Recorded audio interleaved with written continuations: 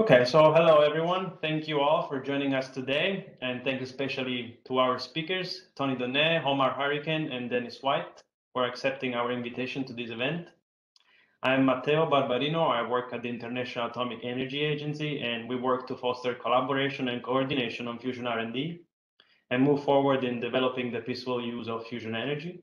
And we've, we've been doing this work since 1958. This webinar series, starting today, will give an overview of the most recent groundbreak, groundbreaking results in the fusion R&D to understand how such progress brings fusion energy closer to realization. Uh, this first episode features the JET tokamak, the National Ignition Facility, and the SPARC tokamak. As you probably know, 2021 was an amazing year for fusion. Uh, in August, the NIF reached a record, a record breaking 1.3 megajoules of output, achieving for the first time a burning plasma state. In September, MIT and Commonwealth Fusion Systems announced the successful demonstration of a record-breaking 20 Tesla magnetic field in their first of a kind superconducting magnet. Uh, this is again a major breakthrough in the design of their SPARC uh, device. And then in December, uh, the JET tokamak reached the highest sustained energy pulse ever and a record-breaking 59 megajoules of sustained fusion energy. We're going to hear about these three groundbreaking results. The format will be a sequence of three talks, 30 minutes each. Please type your questions and comments into the chat box, and we'll go through those during the 30 minutes Q&A at the end. So without further ado, uh, please welcome Professor Tony Donné, CEO of Eurofusion.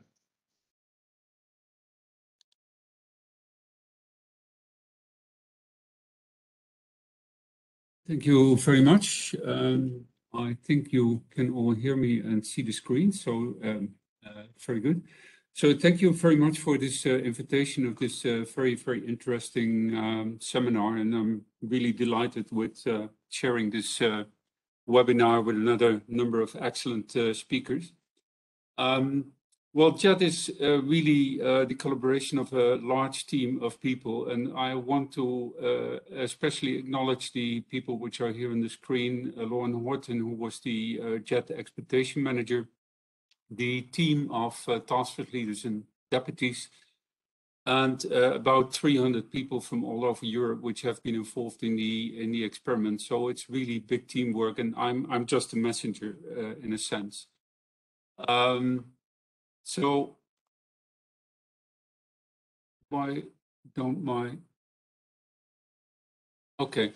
Um, before I come to the JET results, uh, a few words about Eurofusion, what we are, and, and one slide on the European Fusion roadmap that I can put everything in perspective, but then I really focus on, on JET, on the ITER-like wall, on the first results of the recent campaigns with deuterium, tritium, and full tritium, and also what does this mean for ITER?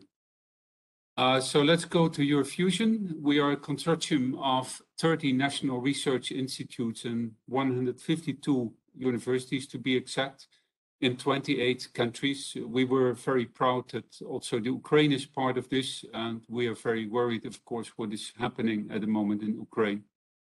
We involve uh, roughly 700 PhD students, 100 MSc students all over Europe, and 4,000 fusion researchers are involved in the work. And uh, also JET is really an international device. Uh, as said, um, it's about 300 people working together. Here you can see them making up the logo.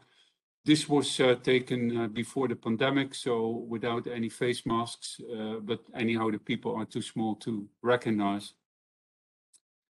On the fusion roadmap, uh, where our idea is to get to the fusion power plant, uh, the most important devices are ITER and uh, demo. ITER will show that fusion is feasible, uh, but will not deliver electricity. That will be done by, by demo. You can see that they're somewhat uh, time-phased.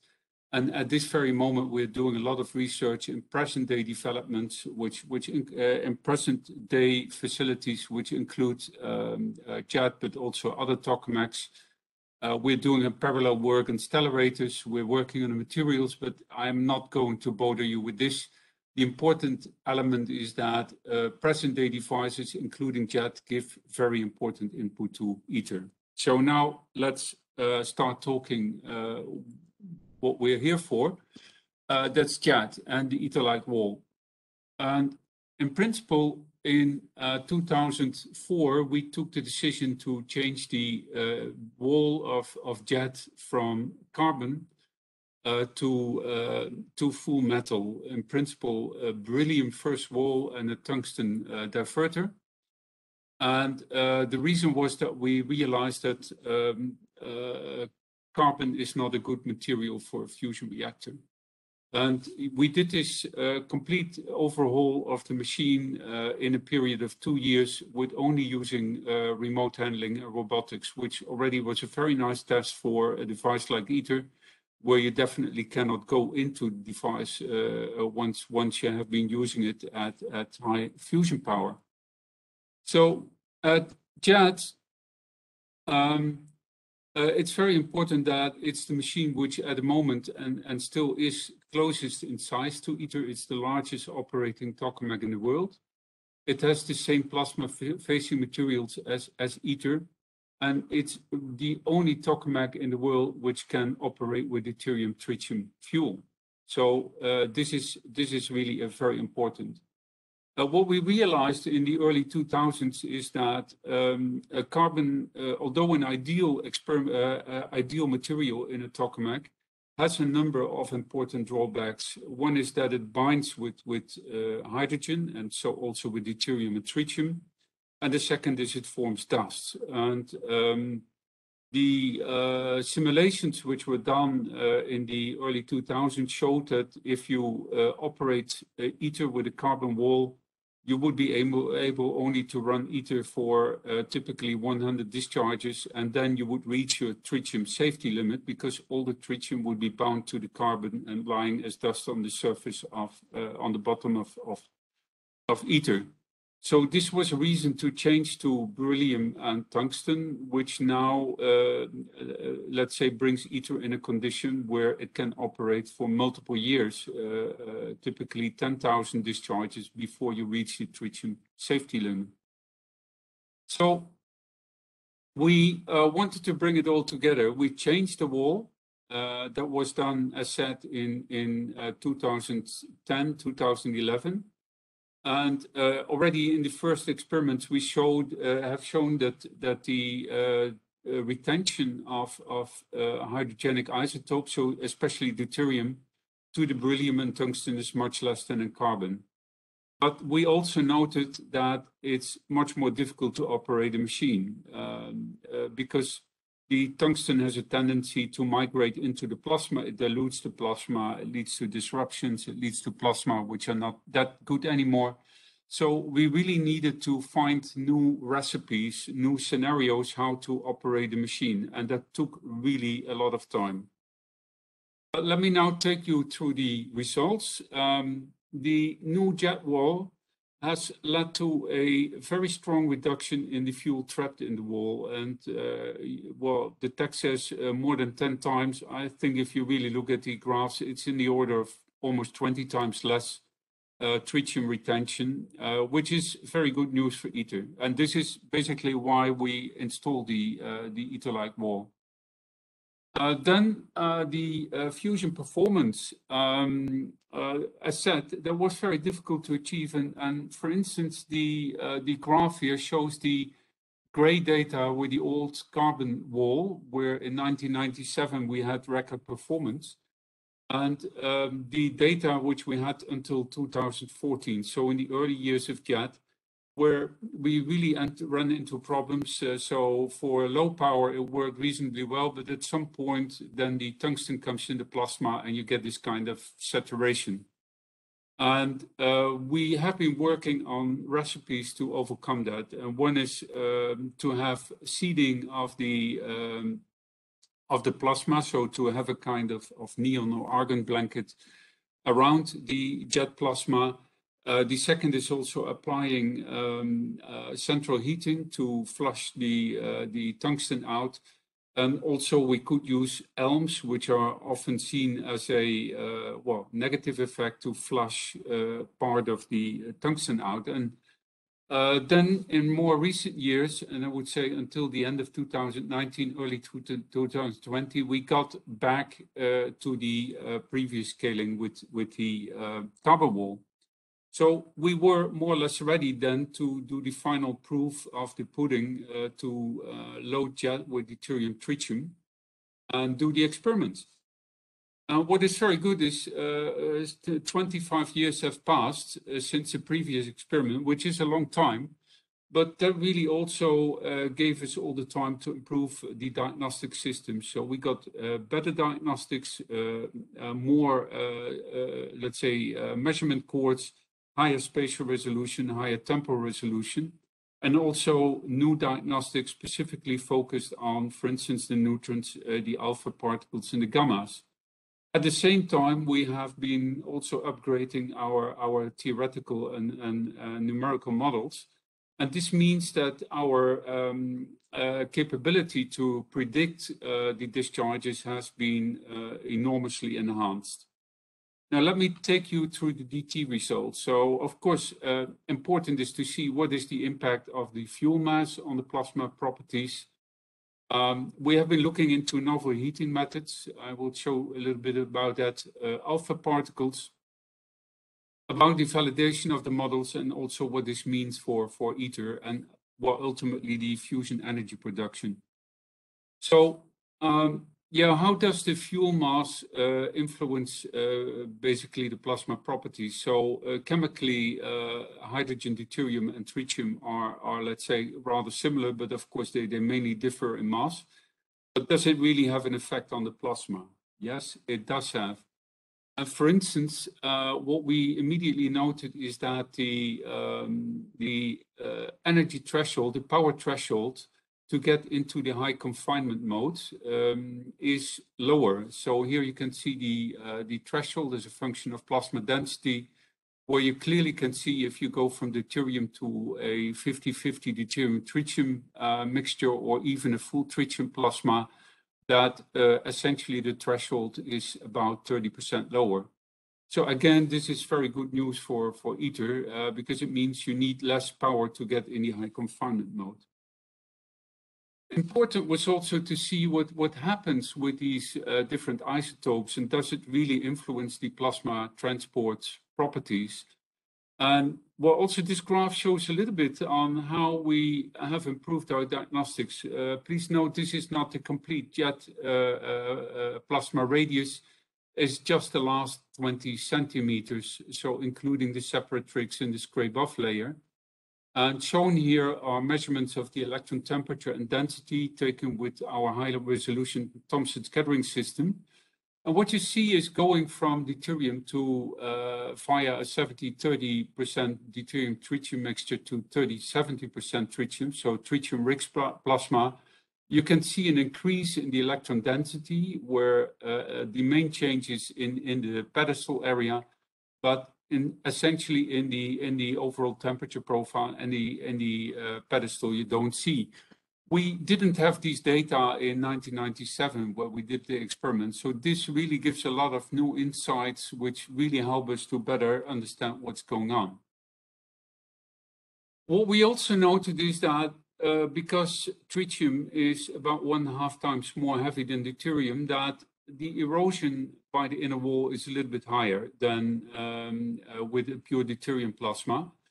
Um, but still, the increase in the erosion by the tritium is, is uh, uh, noticeable, but it's still within the tolerance. It's not a nuisance, and we still can well cope with it. And on the new heating method, which I mentioned, is that, um, of course, because of the beryllium wall, we always have a little bit intrinsic beryllium in the plasma as an impurity. It's not much, but um, instead of uh, beryllium being a nuisance, you can also make uh, uh, use of it in a positive way. Uh, so in um, uh, our ion cyclotron uh, group, we developed now a technique to do minority heating on the beryllium Uh, so the beryllium actually is um, uh, pumped up to very high energy, and then uh, in collisions, it gives the energy away to the the plasma and thus heating the deuterium tritium plasma. So this is also a very nice achievement, which of course is also for ITER good news because ITER for sure will also have beryllium in the plasma, and you can use similar tricks. Um, we have chosen deliberately to focus on the five-second discharges and not to try to, and I will come back to that later, not try to, let's say, get a very high power in a in a short time, uh, because the five seconds are uh, basically um, long enough compared to the energy confinement time, which in jet is typically between half a second and one second. So a five-second discharge is already long uh, um, because it's it's, it's a longer time than any of the plasma physics processes. Uh, but the longer time gives you also better possibility in looking into the detailed uh, interaction of the alpha particles, for instance, with the plasma. And here you can see interaction between the um, the alpha particles. So you can see the fusion power is the curve. And these lines here, I'm not sure whether you can see my cursor, but it's the uh, high-pitched ringing uh, of the plasma. So this is really interaction of the plasma uh, of the alpha particles with, with modes in the plasma. Uh, then, of course, I said we we have been, uh, let's say, working on modeling, and we did modeling calculations already uh, many years ago. And in principle, these model model calculations were done by Jerónimo García back in 2019. And now we have overlaid our data, and you can see the data exactly follow the outcome of the model. So this is this is really good. We are very happy with this validation because the same models predict um, also that ITER will achieve 500 megawatt at 50 megawatt input. Uh, so uh, this is also very important news for ITER because I should say that all the um, the modeling which has been done uh, in the past for ITER was based on the old carbon data, which were taken with JET and also, of course, data from other machines. But it was important to now have also a validation with machine uh, with a machine with deuterium tritium and having the beryllium and and uh, wall and the tungsten divertor. So coming now to the record, and this is the uh, the picture you have seen probably many times. These are the old records from 1997, where at the one hand, we had, well, 16 MW for really a fraction of a second. And uh, we had uh, a five-second pulse at, on average, 4 to four 4.5 uh, MW, so totally 22 megajoule. And as said, we really wanted to focus on the longer pulse um, because that gives the best um, input um, to all the physics. The five seconds, by the way, comes from the fact that the uh, jet has uh, copper coils, um, which are inertially cooled. Uh, so we need some time after every discharge. So when we really operate at high performance, we only can go to five seconds. The coils get too hot, and we need to stop and wait some time for the next shot. So Uh, I really expect that superconducting devices, they, of course, can go to much longer pulses, but jet doesn't have that possibility, not at the highest power. So here you can see the um, uh, the DT power, which we did in a 50-50 mixture, uh, which is already much better. So it's almost double the previous world energy record. So this is um, already a very nice achievement.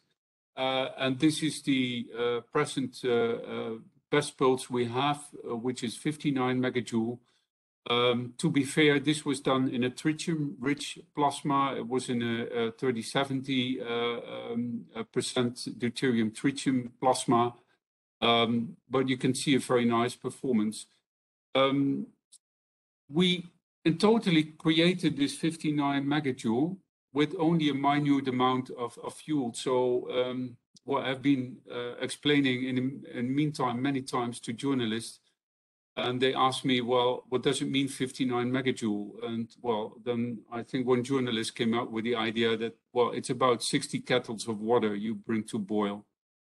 Um, well, it's, it's, it's great, doesn't say much, but we brought this to boil with only 170 microgram of uh, deuterium and tritium, 100 microgram tritium, 70 micrograms of deuterium which is a minor amount. And if you want to do that with fossil fuel, you would need typically four kilograms of peat.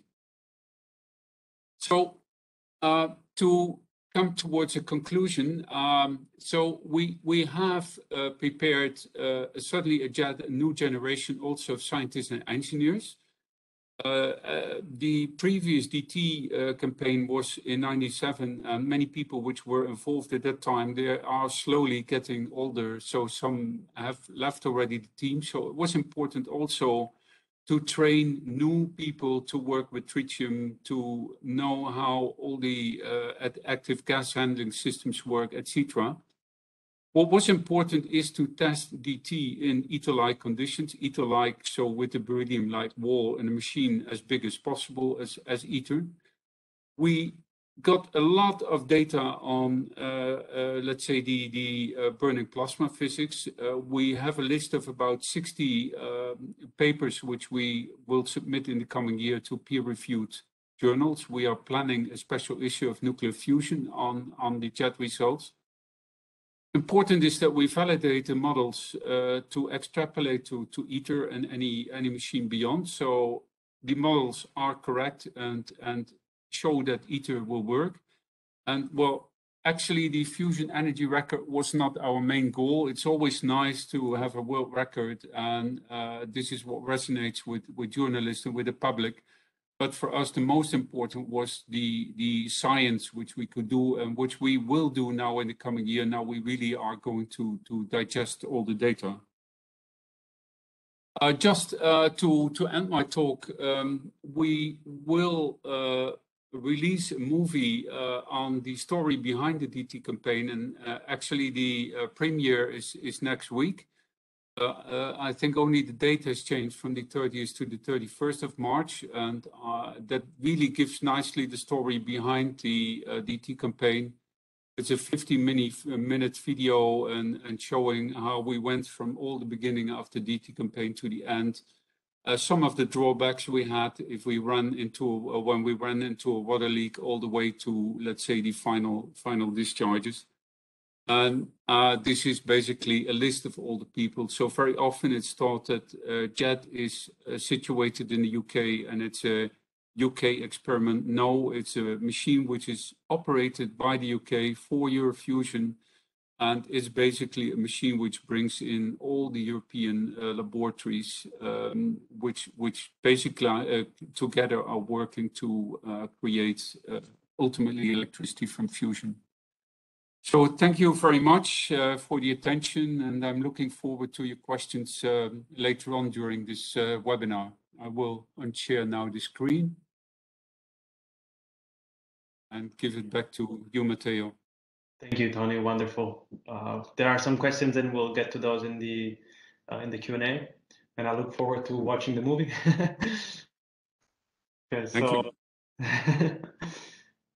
Okay, now please welcome Dr. Omar Hurricane, uh, Chief Scientist for the Inertial Confinement Fusion Program Design Physics Division at the Lawrence Livermore National Lab.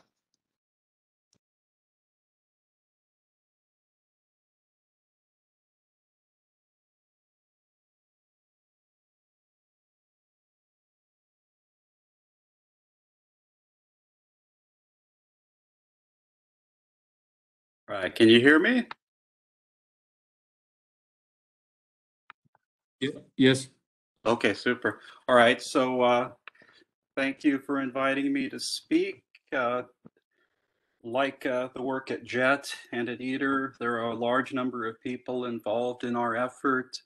I've tried to list a subset of them here on this slide. Of course, uh, there are about 150 uh, people listed here who were recently directly involved in this work, but there have been uh, over, over a thousand uh, involved in, in the lead up to uh, what we're talking about today. Uh, so again, I'm Omar Hurricane. Uh, I work closely with Annie Kritcher, who uh, is the lead designer for the work I'm going to be talking about today.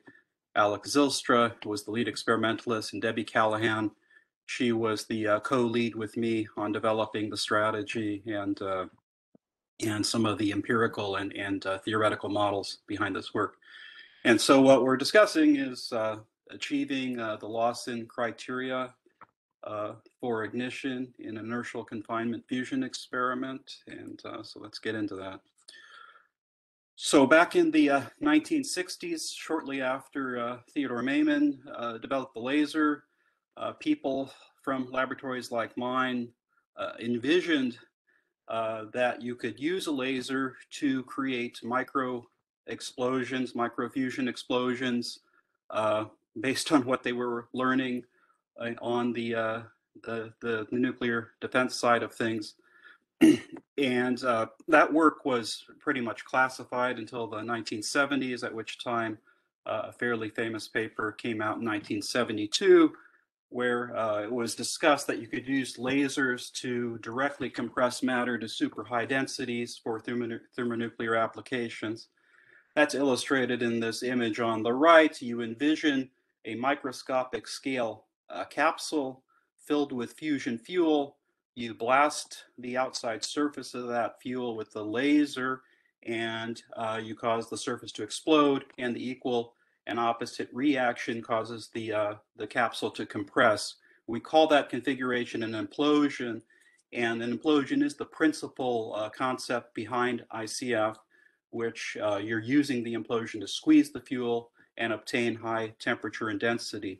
And today, this this direct, what we call direct drive of uh, shooting the lasers directly at the capsule is the primary focus of colleagues at the uh, LLE and University of Rochester uh, laboratory. So uh, back then, uh, they weren't allowed to discuss what they really had in mind. Uh, that and the the idea was actually to use indirect drive, where instead of shooting the lasers directly at the capsule, you confine the uh, capsule inside a metal can, you shoot the lasers at the metal can, and you create a bath of X-rays. And then you use the X-rays to drive the capsule inwards upon itself, and there are certain pros and cons to each approach. Uh, so what we we do in, in our approach is uh, the lasers enter through apertures at the top of this metal can. We call this metal can a Hohlraum, which is a German word for uh, for hollow room it becomes an X-ray converter. The laser light uh, has a certain frequency. It's absorbed uh, near the critical surface where the plasma frequency matches the laser frequency or nearly so, uh, sometimes a quarter of that value. That uh, energy from the laser is absorbed, uh, the atoms radiate, and you get a bath of X-rays flying in all directions, but in particular, hitting the surface of the capsule, and we call that the, uh, the ablation front. Uh, the absorption of that X-ray energy causes that uh, surface to ablate, basically absorb the energy, ionize, and explode. That creates a pressure on the outside of the capsule, and that drives uh, the rest of the capsule with the fusion fuel inside inwards upon itself. So the ablation pressure uh, that's developed as a result of seeing these X-rays is a function of the atomic number uh, and atomic uh, weight of the material that the ablator is made of, uh, the radiation temperature uh, of the of the X-rays inside the Hohlraum, and there's a, a degradation of of that pressure due to the rejection of that some X-ray energy in the form of the albedo of the surface. So typically in our experiments, we develop uh, pressures of 100 to 200 megabars or million atmospheres of pressure on the outside surfaces of our capsule. Okay, so uh, as we are, are doing this process of delivering laser energy into this Hohlraum and then to the capsule, we actually are losing energy uh, pretty significantly in each of these steps. Uh, but we, what we're doing is actually we're trading that energy away for energy density and the whole purpose of a uh, of an implosion is actually to uh, act as a pressure amplifier. So again, here's our cartoon of, of the configuration where we have laser en uh, energy entering through these apertures, which we call laser entrance holes. The X-ray bath is, is generated around this capsule. And then if you were to take a cutaway of this capsule, here's the ablator on the outside. You have the fusion fuel uh, layered on the inside of that capsule. Uh, the laser energy entering in our experiments in, into the Hohlraum is about 1 to uh, 1.9 megajoules of energy. It's uh, blue light. Uh, we call it 3 omega, uh, 351 nanometer wavelength. As we said on the previous slide, that X-ray energy causes the ablator to explode, generating uh, several hundred million atmospheres of pressure. That pressure then drives that capsule inwards upon itself, and uh, eventually it runs out of place to go. There, there's no place else to go. So that kinetic energy that's acquired as it accelerates under this pressure uh, then gets turned into internal energy uh, as, as the plasma kind of collides in on itself. At that moment, uh, you've generated uh, several hundred billions of atmospheres of pressure as you trade that kinetic energy for internal energy.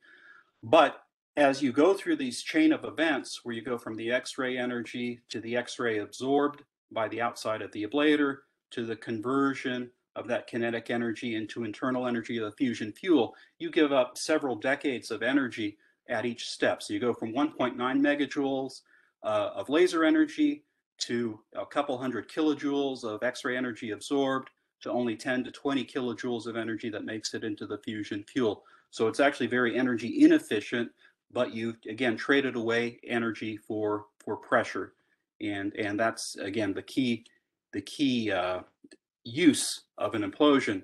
Uh, because there's such a dramatic loss of energy uh, through each step, we have different metrics for uh, for progress uh, in terms of energy, and these are uh, called gains.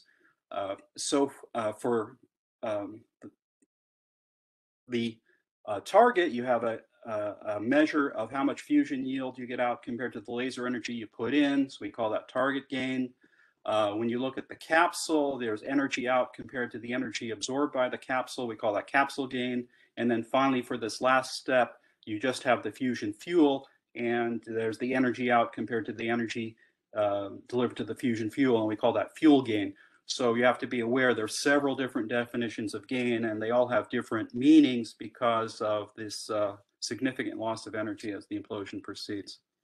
Okay, so uh, these type of experiments uh, are mostly carried out at uh, Lawrence Livermore National Labs National Ignition Facility. This is a facility that's about the size of three football fields. But because of this uh, nature of implosions, uh, while the facility is huge, the actual fusion experiment is on the scale of two millimeters. So there's just a dramatic uh, difference in scale between the facility and our fusion plasma itself. Uh, so uh, what you're seeing here are the capacitor banks outside the, the main laser bays, preamplifiers, the main laser bay, uh, the switch yard, which redirects the laser beams to the target chamber. The target chamber is shown here on the right. The scale is about 10 meters diameter. The target that is inside of that target chamber is one centimeter in scale. That's the Hohlraum seen here on the lower right with some cooling arms attached to it. And then inside of that is our capsule of fusion fuel, which is only about two millimeters in diameter. So while many of us who work in this area are interested in fusion energy, uh, National Ignition Facility is not an energy research facility. Its primary mission is national security. We're paid uh, by uh, the national security branch of our government, and so that's uh, that's our primary job. Okay, so uh, this implosion again is trying to uh, create energy density. And that's because we're trying to create some very extreme conditions in order to stop alpha particles uh, from the DT fusion reaction inside this, this rather tiny uh, fusion plasma. Uh, we're doing that because we're trying to utilize this nature of the DT fusion reaction where essentially the reaction rate goes up as a function of temperature. And if we can trap the heat that's generated from the fusion, uh, that we can increase the temperature. And if we increase the temperature, that increases the reaction rate. And if we can trap that heat, we get more temperature and we can increase the reaction rate again. So that's the process we're trying to leverage. Uh, essentially, for our designs on NIF, uh, we're trying to trap 70 to 80% of the alphas in what we call the hot spot, which results in the temperature increasing. And the hot spot, just by its name, it's the hot part of the plasma, but it tends to be a lower density than the surrounding cold fuel. Uh, the the 20 to 30% of alpha particles that are not stopped in the hot spot are actually used to ablate uh, that fusion fuel from the inside out, and that adds to the mass of the hot spot as the fusion proceeds. The typical scale of this fusion plasma is about 100 uh, microns diameter. So if that doesn't mean anything to you, 100 microns is about the diameter of a human hair. So uh, the conditions we need now to get this alpha heating uh, feedback uh, is a areal density. Uh, we talk, call it rho r. You'll hear me say rho r a lot of about 0.3 grams per centimeter squared. A peak central density of over 100 grams per centimeter squared in this hot spot. And again, the pressures are several hundreds of gigabars, which is uh, billions of atmospheres, about twice, uh, more than twice the pressure at the center of the sun. All right, so let's talk a little bit about the energy balance. In order to get these conditions, we, we really have to delicately balance all these different processes in our plasma uh, to get interesting things to happen. So this is a, a, a image uh, from a simulation uh, shown on the left. On the left part of this image, you see kind of what we expect to be the typical configuration of what we call the shell of the implosion. It's a mixture of the what's left of the ablator and the fusion fuel at peak compression. We'd like it to be perfectly round like the drawings I showed uh, previously, but in reality it's not, and the simulations pick up some of that. On the right side of that image, um, there this uh, shows uh, the temperature. So again, it's hot in the middle, cooler at the edge. And there are some key physics processes that are competing with each other in order to uh, get uh, the pressure and temperature amplification that we see. Uh, of course, the, the primary process that we're interested in is alpha heating, where you stop these alpha particles and, and uh, get that heat to deposit itself. It's a function of the density and the reaction rate. Uh, competing with that as we try to make the plasma hot, uh, Brems losses try to carry energy away. Because we are making a hot plasma next to a cold plasma, Thermal conduction in the form of Spitzer conduction tends to carry the energy away, and they all have different dependencies on temperature, density, and, and radius, uh, or rho r. So the fundamental power balance equation that determines whether or not we are going to be successful is determined uh, by this equation on the upper right. So we have a heat capacity of dt times the time rate of change of temperature is just this balance of source eh, sources and sinks of energy. So we have the alpha heating term, the Brems term, the electron loss term, and then the primary way we get the plasma to heat up is actually through this PDV work. We're doing mechanical work as the implosion proceeds. So as we squeeze the implosion up, PDV work uh, is doing work on the hotspot that increases the temperature. We call that phase the implosion. Typically during this phase, we're achieving velocities of several hundreds kilometers per second that's a, a, typical uh, like high velocity projectile is is under 10,000 uh, kilometers per second. So uh, it, this is this is this is or 10 kilometers per second. So this is quite quite fast. Um, and then after the implosion reaches peak compression, it explodes. So this uh, source of heating, the PDV work term, that actually was beneficial uh, initially becomes actually another sink of energy uh, because it mechanically draws uh, energy out of the fusion plasma as this explosion proceeds. And that's one of the big differences uh, between a, an ICF plasma and magnetic fusion plasma. You usually don't have to worry about the magnetic fusion plasma exploding and uh, taking energy out in mechanical form. Uh, as a result of this competition of these different physical processes of heating and cooling, uh, the nature of an implosion is that it's quite impulsive. So this is power in gigajoules uh, per second versus time. And again, what we're trying to do is maximize the alpha heating, which is this, this burst of, uh, of uh, power here. uh, and it's driven by the PDV work that is uh, initially positive but then turns negative, and it's competing with uh, the Brems losses, which is impulsive because uh, of the, the temperature and the density both responding to the impulsive nature of the implosion, and then you have the electron conduction loss term.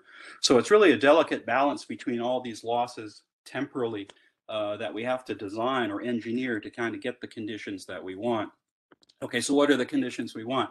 Well, some of the conditions we're trying to achieve or we have achieved is a burning plasma. And so let's define that in terms of this power balance. So a, a burning plasma, the statement is that the integral of the alpha heating power needs to exceed the external sources of heating.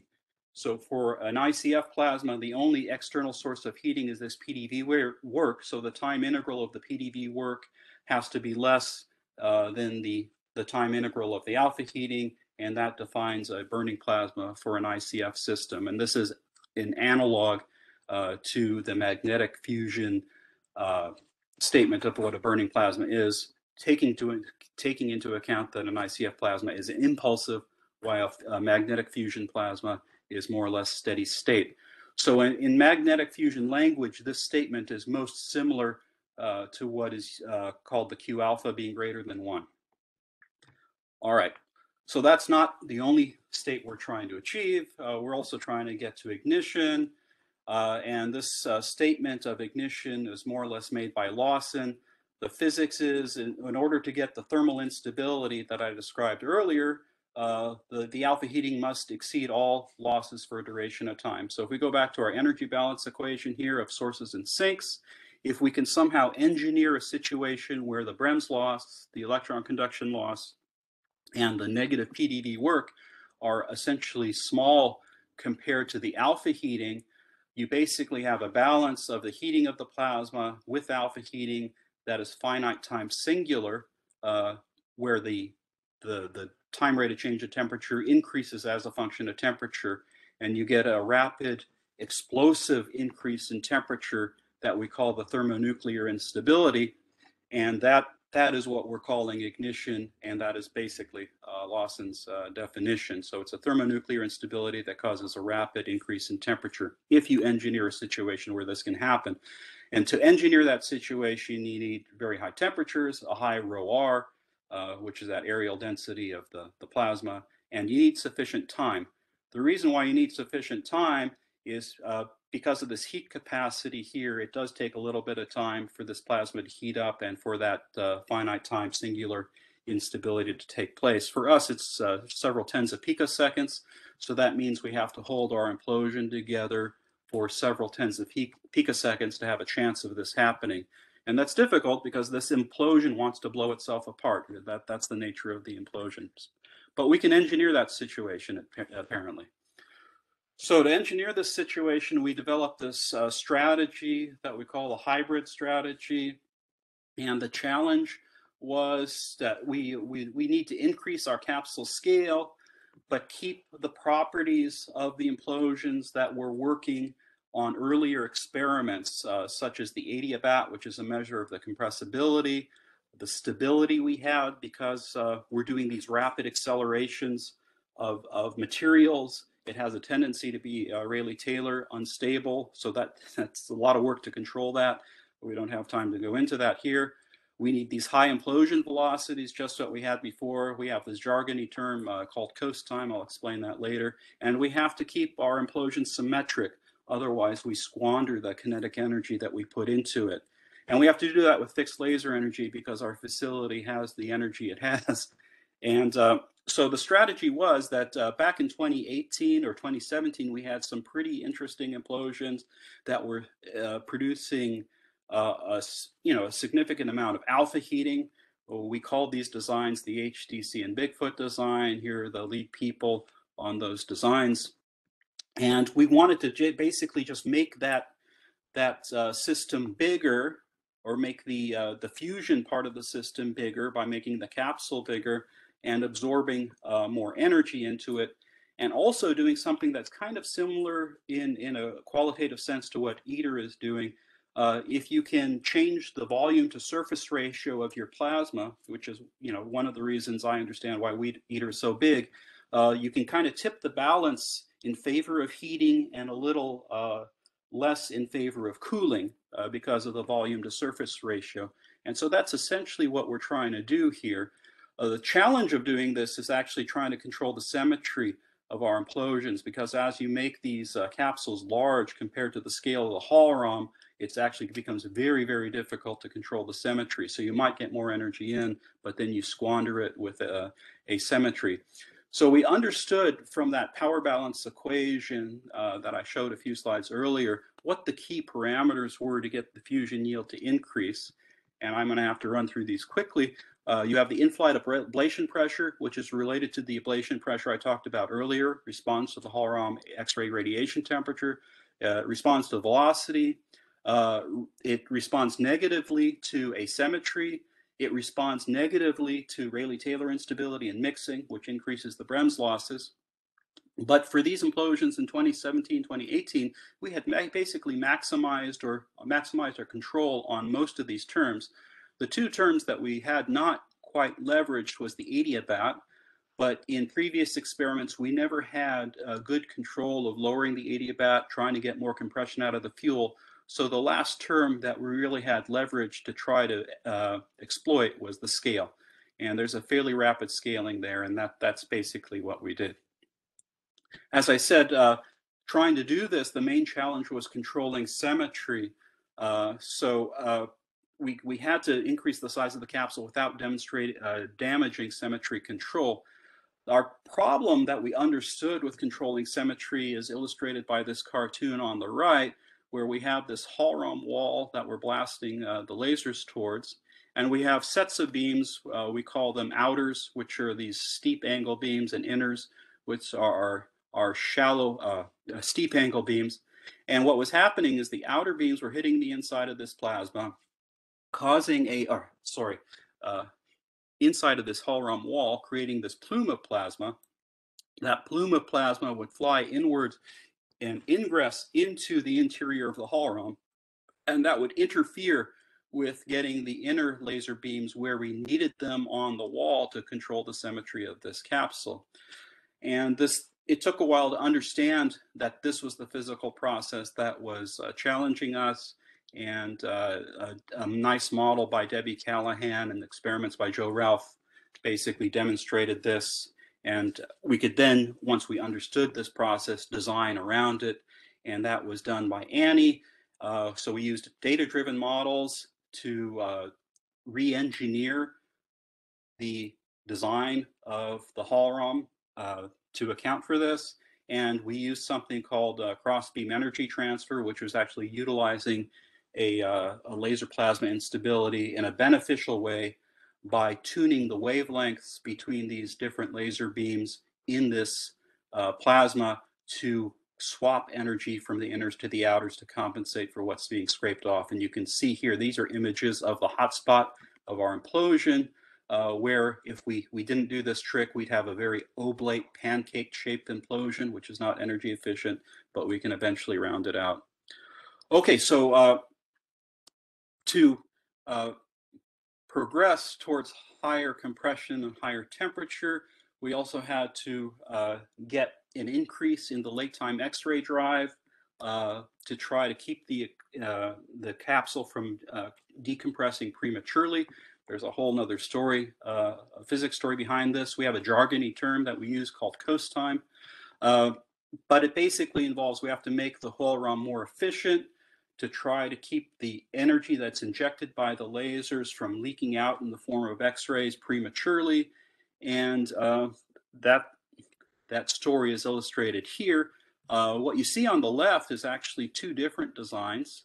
Uh, a design we had from about a year ago, and then a design uh, which created the burning plasmas that were reported recently in our in our uh, Nature papers, uh, to a design uh, where we made small modifications and actually were able to cross uh, into an ignition regime back in August. You know, you'll probably look at this image on the left uh, and see no difference between these two different designs and the, the design details are subtly different and it's uh, an illustration of how sensitive uh, these these target designs are to um, small changes. In addition to the design change on the geometry, which result, uh, which is basically a reduction of this laser entrance hole size and a repointing of these beams, there was a modification to the laser pulse that we request from the facility. We went from a high power uh, pulse that that shut off earlier to a lower power pulse that shut off later. But because of the changes to the, of the geometry of the target, we were able to increase the amount of X-ray drive latent time. And uh, this small difference where you could, it's almost imperceptible here in the geometry and only a non, an expert would really see this difference in radiation temperature. You get an order of magnitude difference in fusion performance. So the benefits of this late time X-ray drive is really just increased hotspot temperature and pressure. The implosion responds very favorably to this. And it actually also has an influence on reducing uh, Rayleigh-Taylor instability, but that's a, another story. So uh, as a result of making these design changes, we were able to uh, create uh, a state where we, we can actually get the alpha heating to far exceed the radiative loss and conduction loss. This is, these are, this is a plot of the integrated hotspot energies for this experiment 210808 from last August. Uh, as a function of time, you see this nature of this dynamic nature of the implosion in this plot of these energies. But again, the alpha heating is far exceeding uh, the conduction loss, the radiative loss, and the negative PDV work. And that allows us to bring this plasma to a state uh, that's quite interesting uh, in a fairly uh, symmetric form as illustrated on the upper left. Uh, our simulations, at least uh, retroactively, are pretty good at predicting or post-dicting the conditions of our experiments. We, you know, can can match the fusion yields, the temperatures, the the densities, uh, the rho R's, and these capsule gains uh, pretty much make sense with the, these models. And uh, so that's going to be reported soon uh, in a paper we have uh, forthcoming. So uh, to, to measure these conditions, of course, our facility has quite a number of diagnostics that provide imaging data, neutron data, spectroscopy data, and by using that data, we can inspect uh, the what's going on in our fusion plasma. Uh, the way we use that data primarily is to do this inference, which is key to determining whether or not we've really achieved a burning plasma or an igniting plasma or not. And uh, let me just run through this quickly.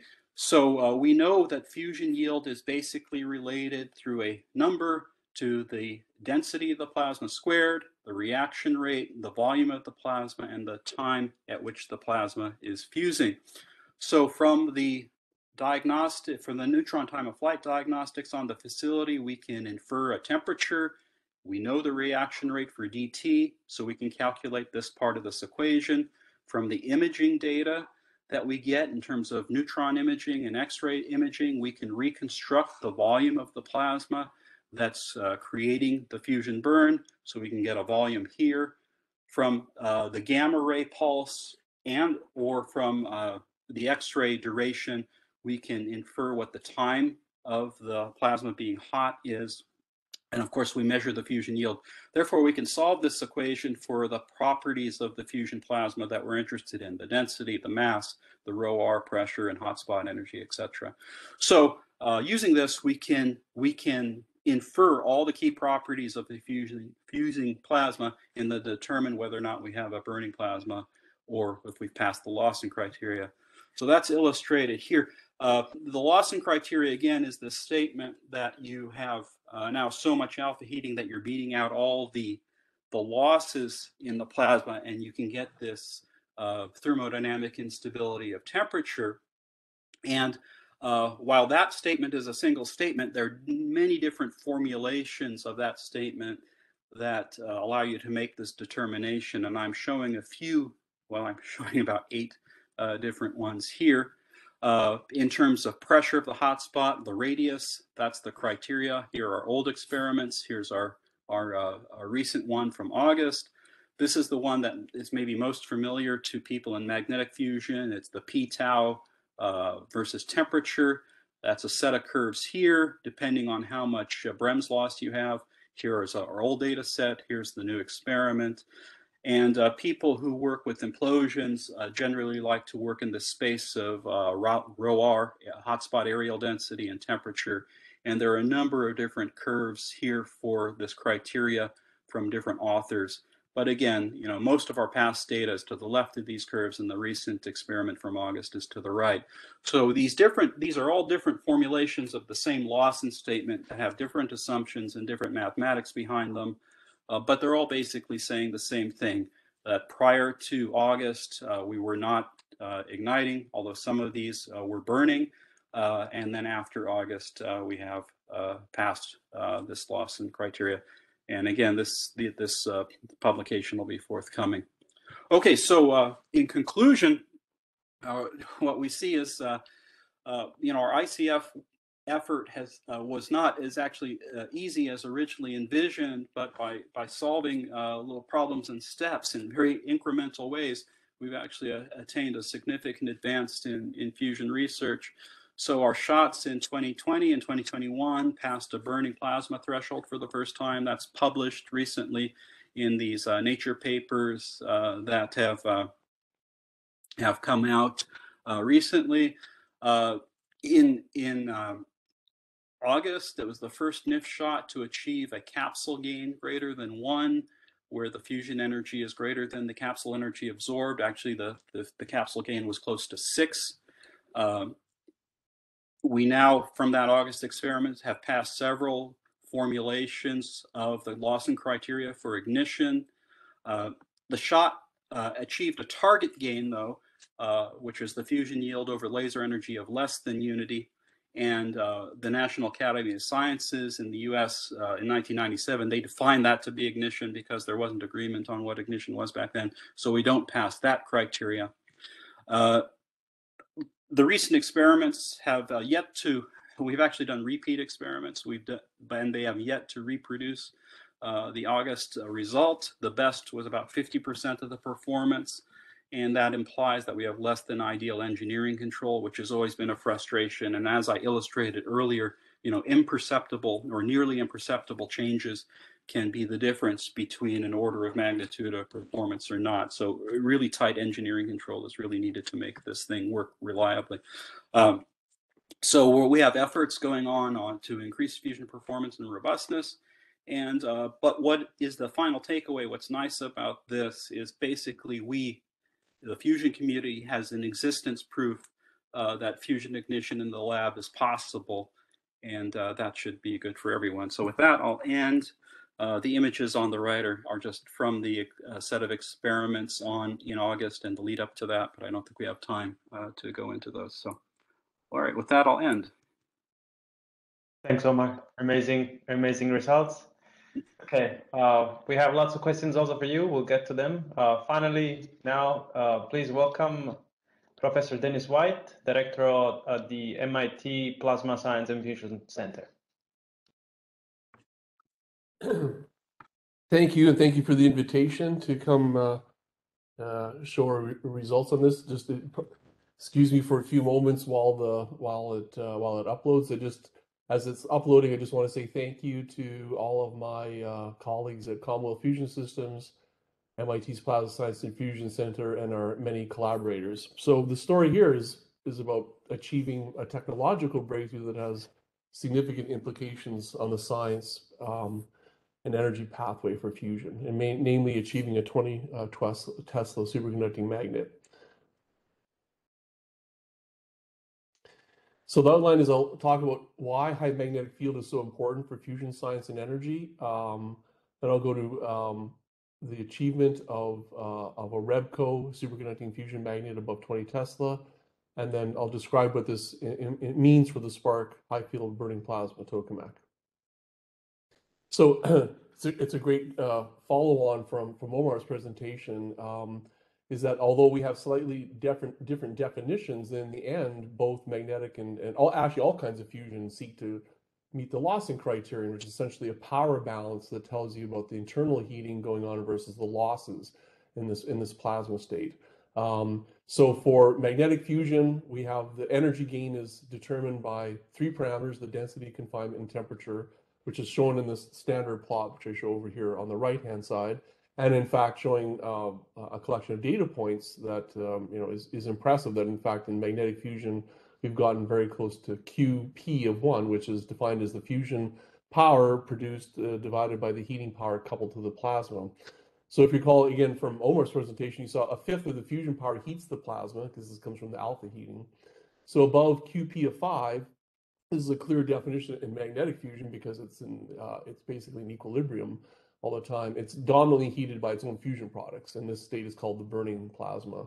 Uh, practical energy systems need QP or an order of 10 or greater uh, because of the conversion efficiencies. Um, and you can see from this plot, the tokamak concept has been leading, but hasn't got there yet about actually achieving uh, net energy gain in the system.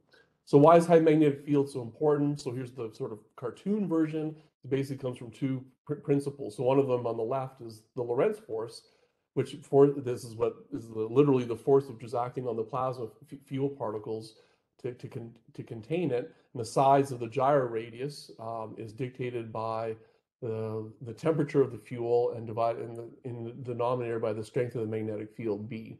Uh, but the plasma temperature uh, by that last plot is, is really almost a, a, a, constant because it's really set by the nuclear uh, cross section. so what's important here is that at fusion conditions, this means the gyro radius decreases linearly with the size of the magnetic field.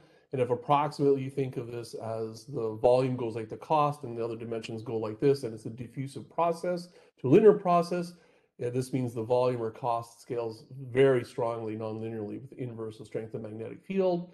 And on the right-hand side, um, we basically considered about how stable the plasma is. So the, the plasma pressure is uh, exerting pressure that wants to, because it's out of thermodynamic equilibrium with the surrounding. The large magnetic field we use, particularly in tokamak, stabilizes against this. And because the fusion rate in the area that we're interested in goes like the plasma pressure squared, and the magnetostatic pressure goes like the magnetic field squared, B squared, then in the end, the fusion rate per unit volume scales like the mag to B to the fourth. We can actually get a little bit more technical uh, on this, and particularly for tokamaks, because it's usually defined uh, as the equations which are shown here, which is this is the so-called beta, which is the relative ratio of thermal pressure in the plasma to the to the magnetic pressure. We know this actually quite well in tokamaks, this so-called Troyon limit, which actually has within it then other optimizations that have to do with the shaping of the plasma. Um, then we, we combine this with the fact that in the fusion uh, area that we're interested in, around 10 keV, the fusion power density, that's the power per unit volume, scales like the pressure squared, as I said before. This leads to generic considerations that the fusion power density, namely the amount of fusion power per unit volume, uh, scales like b to the fourth power. This is the leading indicator for economics in fusion energy because it really tells you the uh, is the leading indicator of watts per dollar, and that's going to be uh, proportional to b to the fourth power. Um, confinement is a little messier than that, um, and this is actually from a, a, review talk that I gave uh, uh, several years ago. Uh, this is actually cast in the same way that Omar did it, that it's namely it's the product of the thermal pressure, which is the density and the temperature, times the energy confinement time. As I showed you, thermal pressure scales at fixed physics, uh, like B squared. And then tau E has a variety of different, uh, often debated uh, dependencies on size and magnetic field, but it basically always is monotonically increasing with size, which is kind of makes intuitive sense. Large things confine things, their heat longer. On the strength of the magnetic field, because you're improving the insulation through the smaller gyro radius as you increase the magnetic field. There's a set of various ways we look at this, including stellarators, not even just tokamaks. And in the end, you come up with something that usually looks like this. It's kind of got r cubed-ish and b to some power, which is between four and six.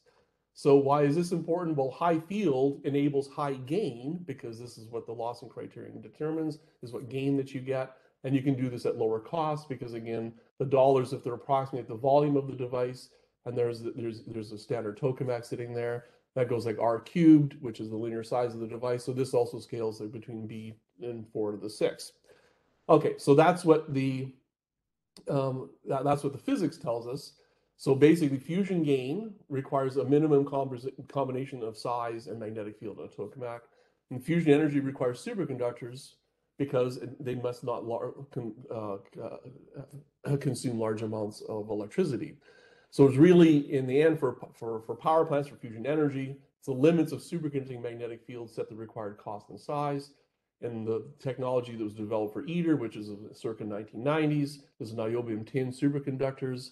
This amounts to a peak magnetic field at the coil of around 12 Tesla, configured into a tokamak. This means the field at the plasma is just less than 6 Tesla. If you look at the curves of size versus magnetic field, uh, this actually tells you why ITER basically is the size it is, with a major radius uh, near six, near six meters.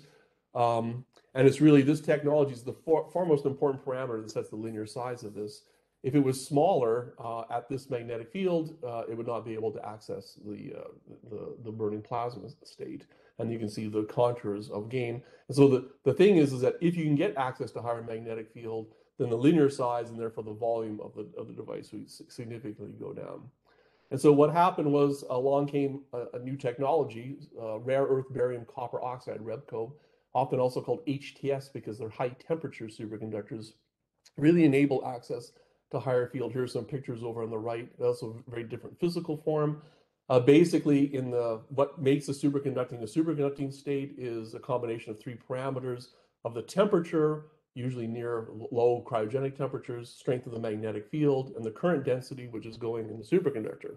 So the, uh, the, the, low temperature superconducting technology lived very close to the axis of this, uh, and this is what, what set the limit of the magnetic field. The new REBCO superconductor shown in the lighter shade region and essentially expands the operating space by about a factor of a thousand. So this is what you're really looking for as an engineer to be able to go after this. Um, so what is the features of, of HTS or REBCO? It's superconducting well above 4 Kelvin. Its critical surface has a very weak dependence on the magnetic field. so all this is the theoretically possible to greatly increase the magnetic field for fusion, but what are the practical limits? For example, the stress scales like the B squared because it's the magnetostatic pressure. What would be the stability of the coil? How would you cool it? And so forth. All the detailed engineering questions. But why were we motivated to do this? Well, we're motivated because opening up the right-hand side of that plot, which says that based on known established tokamak science, if we could access in a superconducting state a much larger magnetic field, then we'd be able to access actually quite large and, uh, and significant performance, including access to QP, uh, you know, order of 10 uh, at much reduced size. Um, and that's what re required a peak field at the coil of order of, of 20 Tesla. And so what was the comparison of this? Well, in fact, uh, we, we know about this from experiments we'd run for a long time at MIT called the, the Alcator projects. And the last one was Alcator CMOD, uh, which actually established, for example, the world record for, for thermal pressure in the plasma, but it is a very compact device. It's only one cubic meter in plasma volume. So here we put into context, what does this mean in terms of scale for the project is that I'll talk about SPARC and here's ITER to scale. You can see them beside each other. They both achieve a, a, a, an energy gain of order of 10. Um, oh, sorry, the fusion power should be 500 megawatts in ITER. That was a typo, apologies.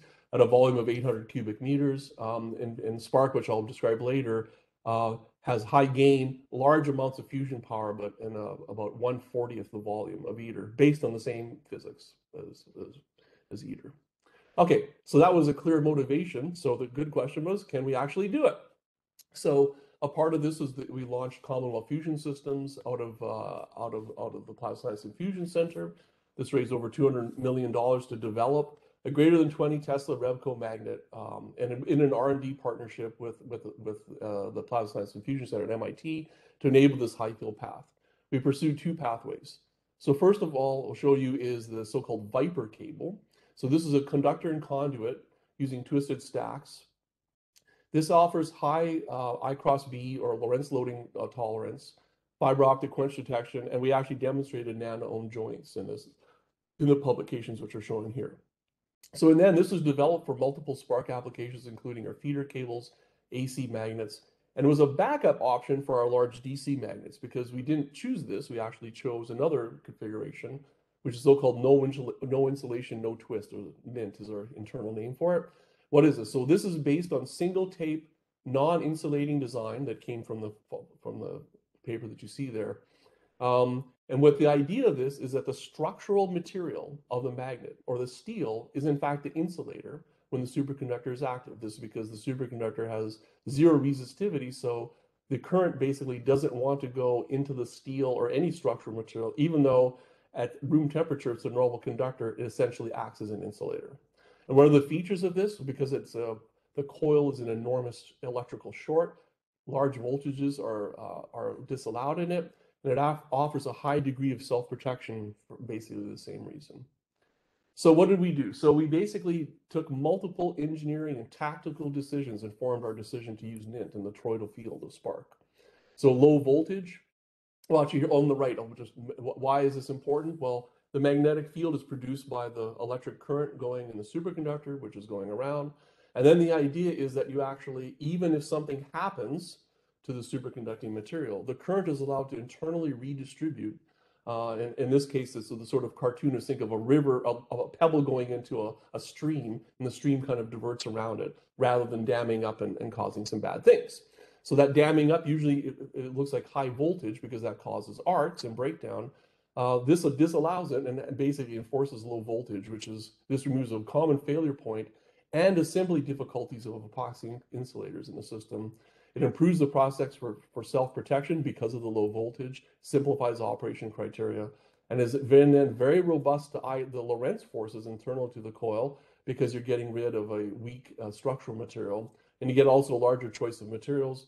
And in the end, the normal, it also allow, allows normal joints are readily integrated because of the simplicity of, of the system. But its challenges would have required advanced electromagnetic models because the current path is self-determined inside of the coil and then to do this, we, we built more than a dozen coils and tested them. So this didn't come overnight. So what did we do with the so-called TFMC, the toroidal field model coil of SPARC, was achieve the SPARC requirements with respect, respect to peak magnetic field, current density, and cooling power.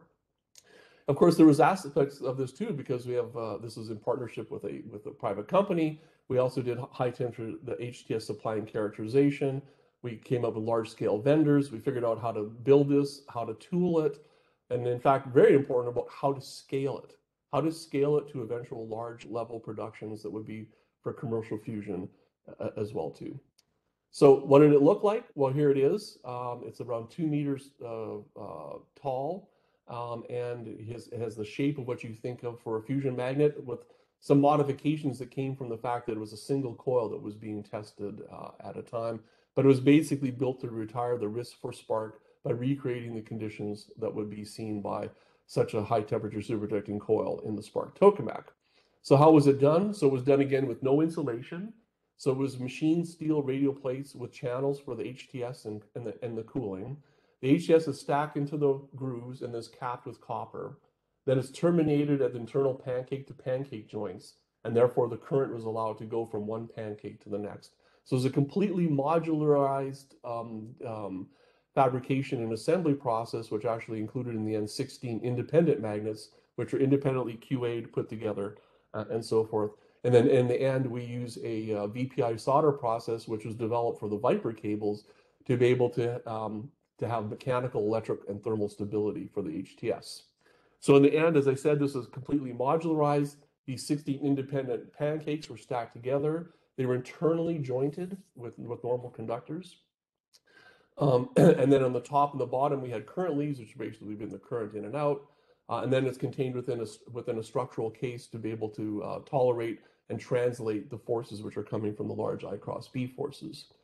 So what are the design features and what we were looking to do in this? So improve passive stability. It does not have does not have an active quench detection system, unlike most superconducting magnets of large size intrinsically low voltage, less than one volt, um, high thermal stability, which means that it's robust to damage defects and off-normal events. A, a, key aspect of this, uh, an approximate, is compared to low temperature superconductors, it's a 100 to a 1,000 times more thermally stable. This comes from an, uh, different combinations of the much higher critical temperature in HTS, but also the much higher heat capacity of materials at the higher temperature. So it's actually a benefit to operate at high temperature.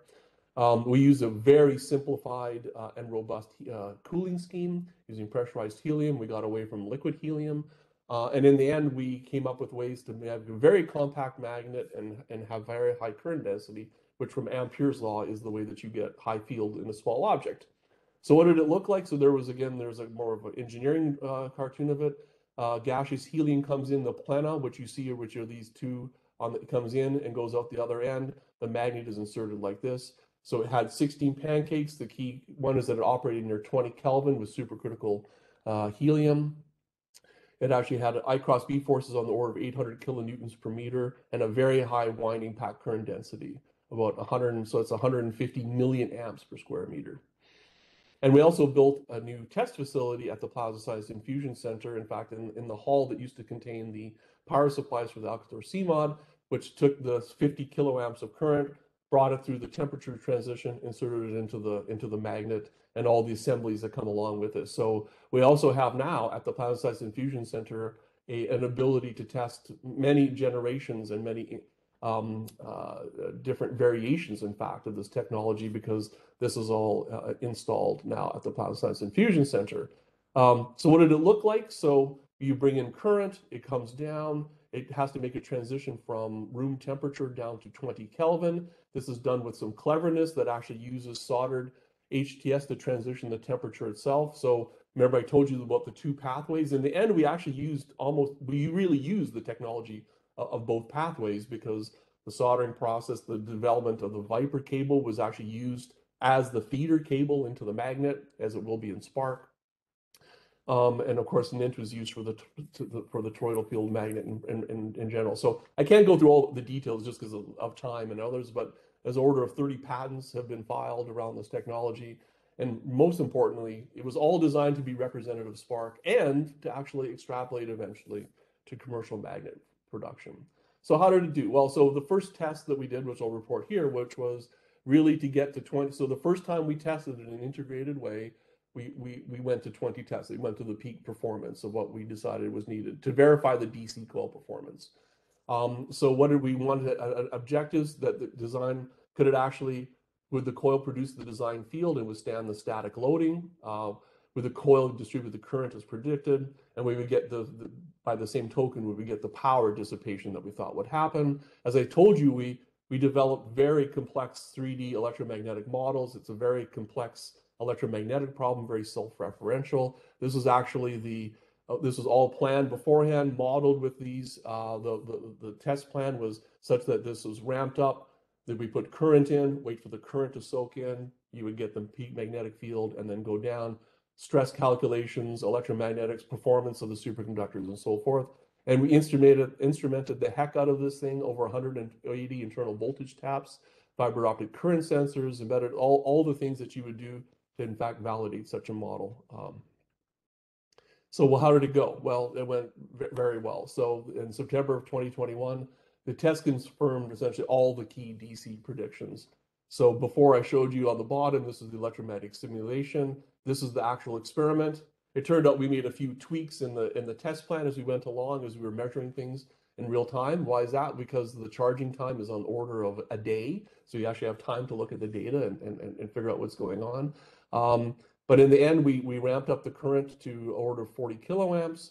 And here you can see uh, at the HTS stack edge and at the HTS stack center, we we we went above the 20 Tesla objective and then and then ramped the coil back down. So what did we verify? Over 20 Tesla peak field, I cross B at over 800 kilonewtons per meter and a peak stress uh, over 900 megapascal with no visible signs or measured signs of, of changes or structural problems. The internal joints work very well at about a nano ohm. We verified charging voltage and time, had an excellent thermal and mechanical stability. We could see, in, in, some sense, it was kind of a little bit boring from that. Not, not always boring, but most of the time boring. And, and we really verified the simulated distributions of current and voltage, which were verified. So we verified low voltages also, and quench tests and other quench tests and optimizations are in progress now. So let me then conclude actually with uh, the SPARC high field burning plasma tokamak. So I'll bring up this slide again because again, motivated about what we wanted to, to do was that the previous generation of superconductors could really, in a tokamak, this meant for the peak magnetic field at the plasma was order of around six uh, Tesla. Um, and what we showed in the in, in the coil that I just showed you was uh, approximately doubling the magnetic field. In fact, the peak field in the largest part of the coil was, was, was near 21 or 23 Tesla. So, or sorry, 22 Tesla. So what this opened up was the right-hand side of this plot and uh, enables now uh, a SPARC, as I showed you before, which significantly reduces the size of the device by the by the physics rules that I showed you at the beginning of the talk, and the idea that we can uh, we can actually get a burning plasma um, at, at, at a, in a very very compact device. But it's even more than just gaining a burning plasma. And as I said, we we we launched Commonwealth Fusion Systems. SPARC is a net energy gain burning plasma, which is in the context of developing commercial fusion energy using the Rebco magnets. And our plan was, uh, you know, understand high field fusion uh, confinement, which we largely did on Alcator, uh, complete the TFMC, which we did in September 5th. Then the company was able to raise 1.8 billion dollars, which was announced uh, in December of 2021.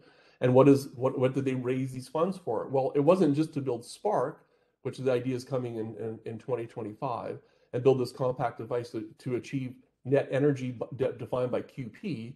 It was actually to go all the way to a commercial power system over here on the right called ARC, which we hope will uh, come online in the early uh, 2030s, uh, again with this greatly reduced size because of the advent of the Rebco magnets. So what is SPARC? Well, you know, our in our in our own uh, terminology, we think of this as the kitty hawk moment for commercial fusion. Um, so what, what I, well, I'll get to what, what that means. So, so, what is, so here it is, you can see the, you can see the device, you can see the tokamak, again, its toroidal configuration. These are the toroidal field coils that would be at the similar operating conditions as what I showed you to that. And you can see the people standing beside it. Um, so it produces over 100 megawatts of fusion power at standard confinement uh, um, um, uh, conditions and a plasma energy gain uh, just over 10, but at very compact size, an order of 20 cubic meters. So it's for those familiar, it's basically a DIII-D or ASDEX upgrade size tokamak. And it uses this breakthrough greater, than 20 Tesla Rebco magnet required, and not just that, but the one that's required for ARC, not just for SPARC in terms of the peak magnetic field. Yeah, so while providing the access to new science of heated plasma. Yeah, but it's yet it's not trying to be a commercial device itself, and this is key about SPARC. This is why we call it the Kitty Hawk moment. The Wright Flyer was not a commercial airliner. Neither does SPARC try to do this, but it tries to prove that fusion, you know, can fly, quote unquote.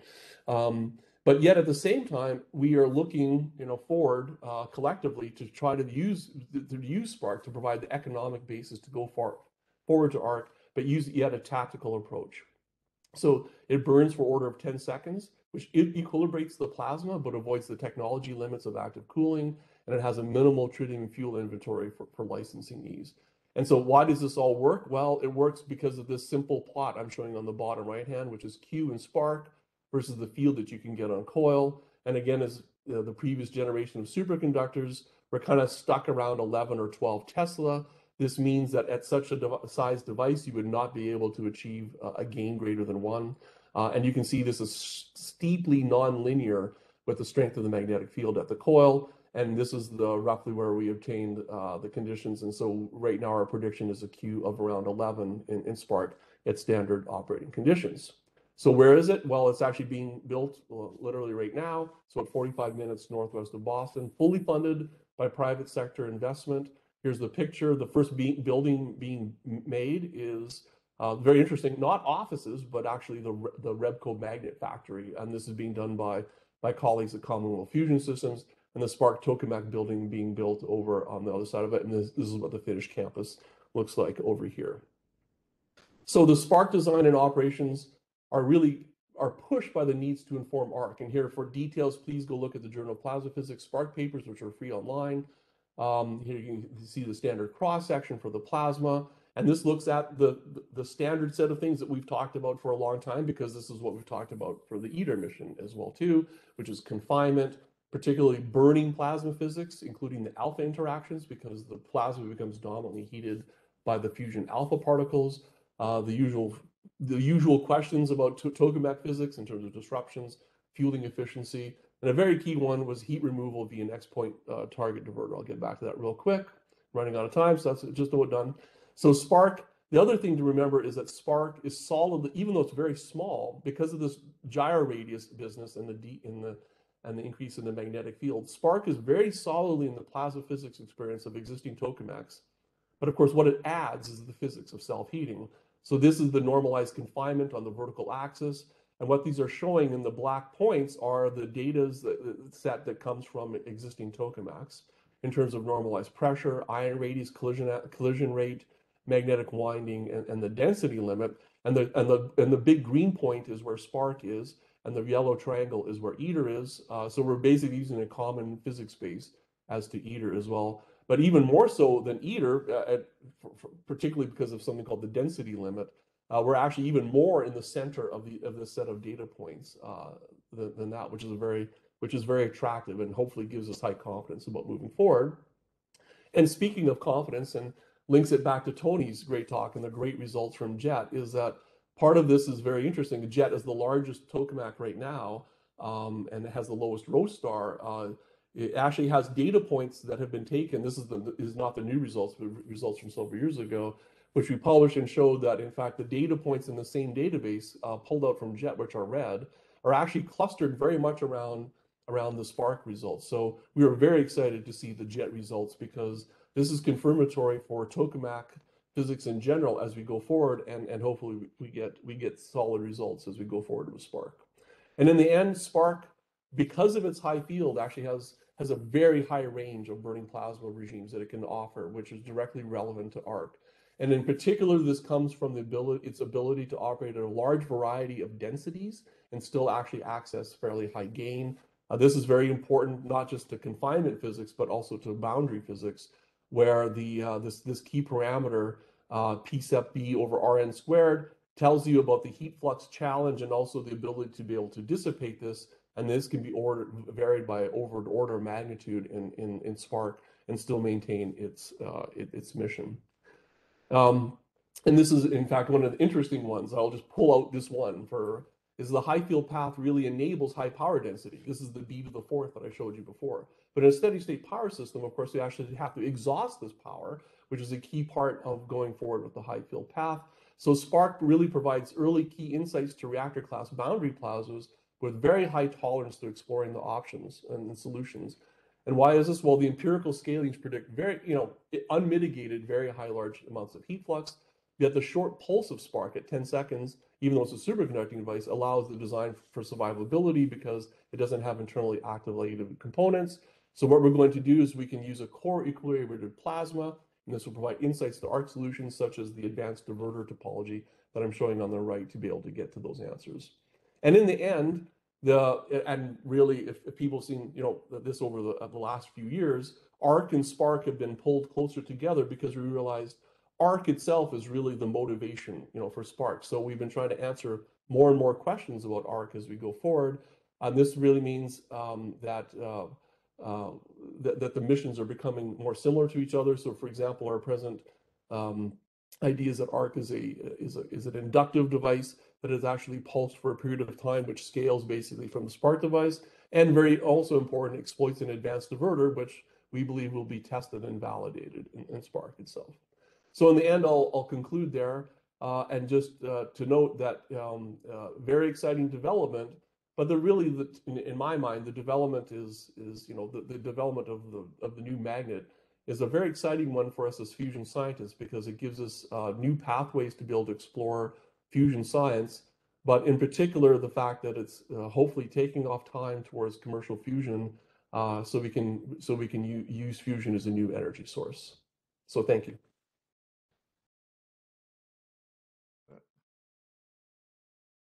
Thank you, Dennis. Amazing. And uh, thank you all again. Um, well, this 90 minutes flew by. Uh, we have, so maybe we, if you can stop sharing, we go into, I don't know if you can, I, or I can probably take it over. Okay, let's have this, uh, let's get started with the. Uh, you, I, I don't know how to stop the sharing, so. I, I can take over. Uh, if you can do that, Matteo. great. Yes. Okay. Uh, let's get started. We have about 30 minutes and lots of questions. You all got more than five questions. I will start from Tony, then we go to Omar, and then I'll come back to you, Dennis. Uh, so, Tony, there's a question. Where do the new DT data fit on the curve of stored energy versus scaling? Yeah, I saw that one. Uh, well, that's a very good question, but I, I, I, I think it's a little bit premature to, to give already an answer. We need to uh, validate more data. So we're working on that and we hope to come out soon with a statement on that, but uh, we cannot say yet. Okay. And I guess uh, likewise, uh, if the observed isotope effect improvement is in agreement with the conventional uh, scaling law. Uh, yeah, that's similar. Yeah, we, we, we are really looking into that. Okay. Uh, for the JET DT, DT2 experiment, the erosion of tungsten by tritium is within tolerance. Could you, could erosion of tungsten by tritium be an issue for demo?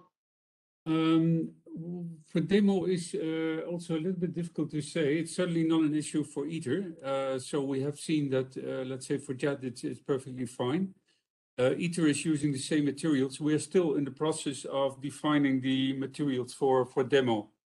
Uh, so at this moment, we don't know exactly what, what first wall we are using. Also, I should state here, there's various demos. So I'm talking about the European demo. Uh, there's also K demo, Japanese demo, the CFETR. Um, also, our American friends have some ideas. So um, yeah, we need to look into that. But uh, I think certainly for ITER, I would say it looks fine. Okay, and then there, there was this question, uh, but I think it was partially answered on the chat just to bring it uh, here. Are the new DT discharges standard H modes or some improved advanced scenario? Uh, they, they're the hybrid uh, scenario. So we, we were looking uh, over the last years in the hybrid scenarios and the and the baseline scenarios for ITER. Uh, these shots are in the in the hybrid scenario. In the baseline scenario, the, the results were slightly less good. We also had a limit in the length of our DT campaign, so we decided to focus on the hybrid scenario here. Okay, and then there was a question about the Q plasma achieved, and it. Yeah, very good. I, did, I didn't mention that. So the Q of the 59 megajoule discharge is uh, 0.33, so basically one third. Um, this compares to a Q is uh, 0.2 of the 22 megajoule uh, discharge uh, back in 1997. Uh, only for the uh, short blip of um, uh, 60 megajoule during a fraction of a second, we had a Q of 0.6, 0.62 to be exact. But in in general, you could say that the confinement is better than it was in back in 1997. There's a question which just came in now. Does the, the success from these experiments give us a chance to continue continue running experiments with JET? Um, well, the idea with JET is, uh, well, there's still a little bit of question mark, which we hope to answer in one or two weeks. So at the moment, we have agreement uh, to go on with JET until the end of September this year. And this uh, includes uh, cleanup discharges because we need, need to get the tritium out uh, and then helium discharges, which are very important for ITER. It's high priority there. Uh, we have a plan to continue JET until the end of 2023, and then around that time, we will, um, uh, let's say, stop the machine. And it's a machine we started back in 1983 uh, with the first discharges, so it's 40 years old. Um, what has happened with JET is that we each time extended the life of JET with one or two years. And uh, this is really uh, not a very good strategy uh, because in the end, each time when it's two years, there's a lot of maintenance you're not doing because you think, ah, it's another two years. So it's much better to extend a, a machine by 10 years because then you really can put power, uh, let's say, effort in, in upgrading. So I, I would say uh, the end of 23 is a fairly sure uh, end um, there can be always one or two months, you know, uh, to finish some things, but I would say around that time we will wrap up JET. Okay, thanks, Tony. So let me uh, come back to Omar. Uh, there was this recurring question which you actually answered uh, in your final slide. Uh, have you tried to reproduce the 1.3 megajoule shot? Uh, and you said not yet, and that she reached 50% of the yield. I mean, you you actually you, you did reproduce it. I think about four, four times. We uh we tried the reproducibility experiments about four times, and the best of those was about fifty percent of the record performance. Although all of those repeats were records compared to what we had a year ago, so they were still very high performance, and they're kind of bridging this regime between where we were with burning plasmas and igniting. So they're they're crossing that. The uh, what we understood from those experiments is we observe retroactively that we have uh, the appearance of what's called a mode one asymmetry, which is essentially a drift of the implosion either off to the side or up and down. Uh, that basically steals kinetic energy uh, because of conservation of momentum and energy. You never get that energy back. And we also observe an enhancement in, in mixing, which we see uh, in Bremsstrahlung losses. And those are kind of distorting the energy balance in the hotspot that I talked about and degrading the performance. So we saw, we can explain the degradation of most of those experiments after the fact. Why uh, the experiments decided to mix more or have mode one asymmetry is less clear. Usually the mode one asymmetry is associated with the manufacture of the capsule not being uniform thickness. It's thicker on one side and then, then on the other. You don't have perfect control of that.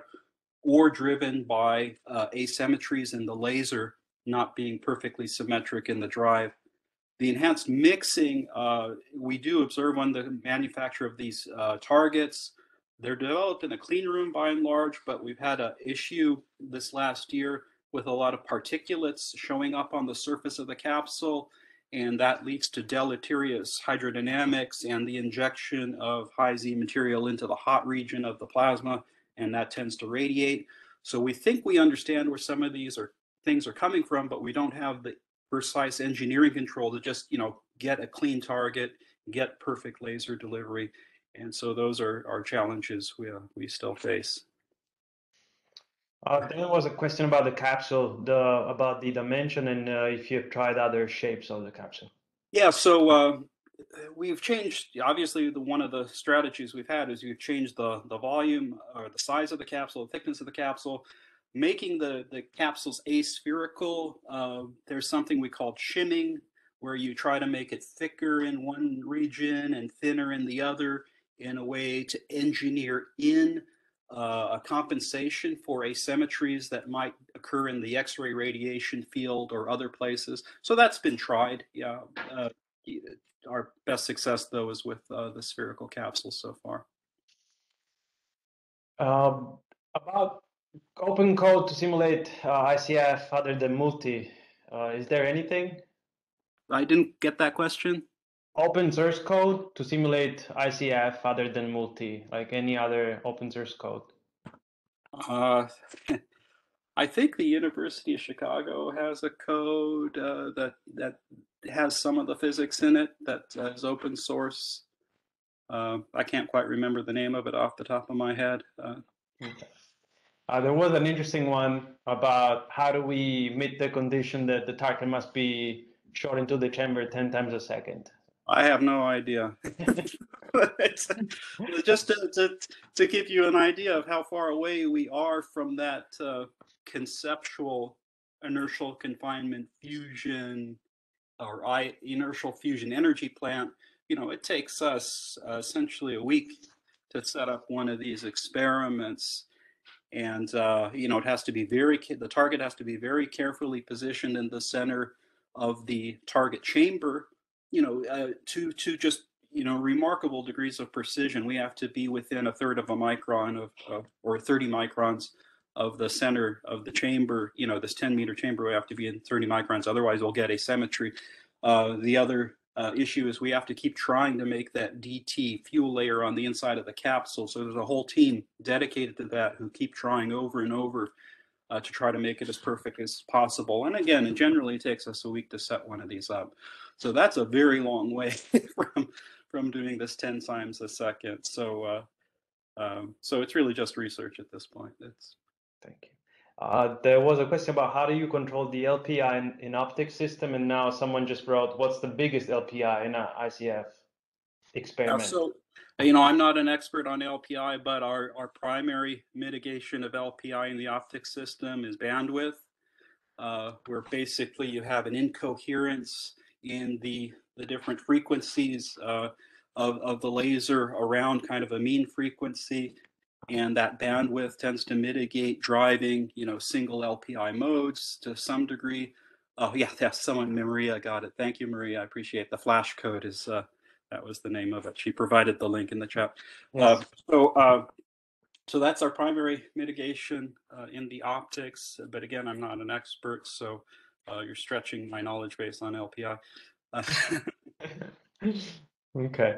Um, there was a question about fast ignition and uh, the, your your opinion here. Uh, they're asking about the possibility of uh, realizing fast ignition without ultra short, ultra intense heating pulses. Well, yeah. So, uh, yeah, fast ignition is interesting. There hasn't been nearly as much work on it as what we're doing, which we do hot spot ignition, where the compression of the fuel and the heating are done simultaneously. So, uh, fast ignition is you try to do the compression of the fuel uh, separately from the heating. And so, an ultra fast uh, laser or proton beams are the uh, proposed ways to get in the heating.